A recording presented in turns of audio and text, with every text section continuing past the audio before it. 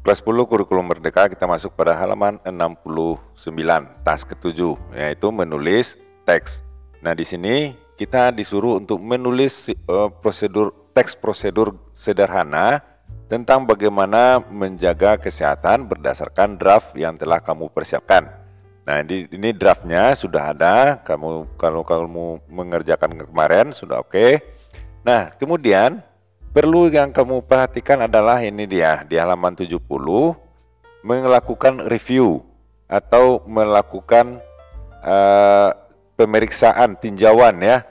Nah, bekerja dalam berpasangan untuk melakukan uh, tinjauan sebaya. Periksalah penulisan kamu itu dengan menceklis list daftar di bawah ini, kemudian mintalah teman kamu untuk uh, memeriksanya memeriksa penulisan kamu itu. Nah, ini yang review kamu, ini review teman sebaya kamu. Nah, di sini waktu menulis yang di halaman 69 ini, yang perlu kalian buat adalah judul, ya.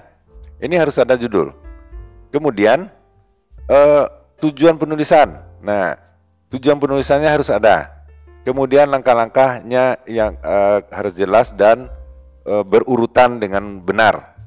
Nah itu yang tiga ini yang penting uh, terpenting sekali yang kamu buat. Jadi ada di tulisan ini judul, tujuannya apa kamu menulis itu dan langkah-langkahnya apa.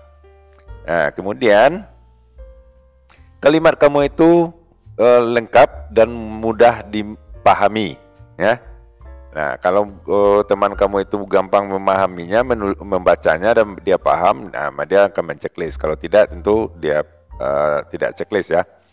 Kemudian spelling, tan, uh, penulisan dan tanda bacanya benar. Spelling ini adalah misalnya uh, penulisannya misalnya dalam kata-kata spelling ini. Seandainya kamu menulis spelling ini tanpa L1, hilang L-nya, itu tidak benar spellingnya. Begitu juga dengan tanda baca, tanda baca ini tanda, uh, titik, koma, tanda seru dan segala macamnya. Nah, itu harus juga benar. Kemudian teks itu di antara 100 sampai 200 kata. Nah, biasanya kalau sudah kamu laksanakan eh, teks yang di atas ya, ini selesai misalnya ya title eh, apa namanya? Organizer ini kamu buat dengan benar, maka biasanya penulisan 100 kata itu gampang, eh, sedikit cuman itu. Kemudian teks itu menggunakan mode yang lainnya. Nah, kamu biasanya disarankan di sini untuk menggunakan gambar, ya. Eh, cari saja gambar, misalnya eh, judulnya tentang tips bagaimana supaya tidur nyenyak. Ya, gambar orang tidur aja sudah cukup itu.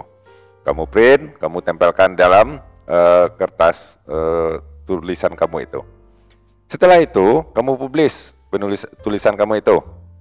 Nah, buatlah perubahan yang diperlukan pada penulisan kamu itu berdasarkan pada uh, tinjauan teman sebaya dan saran dari guru, ya.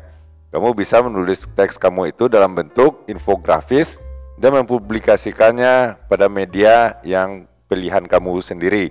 Jadi bisa kamu buat di di kamu sampaikan atau kamu publikasikan di media sosial misalnya Facebook atau TikTok atau segala macam. Boleh menggunakan media apa pun. Nah, barangkali itu dulu untuk kali ini. Jangan lupa subscribe dan like videonya. Mudah-mudahan bermanfaat. Sampai jumpa.